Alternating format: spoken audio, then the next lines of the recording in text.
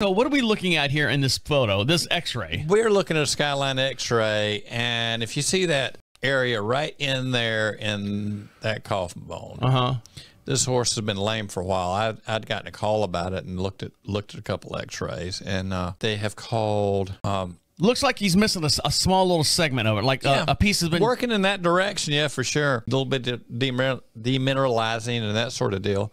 Uh, so they called a podiatry vet that's based out of Aiken in on the deal, and Sean's working on it, and uh, he uh, and he would be like like Sammy, Okay. slash farrier, Yeah, yeah, yeah. right. And so uh, they've called him in, and uh, they've done some X-rays and taken taken a few different angles on the deal, and you got a you got an area that's got something going on there.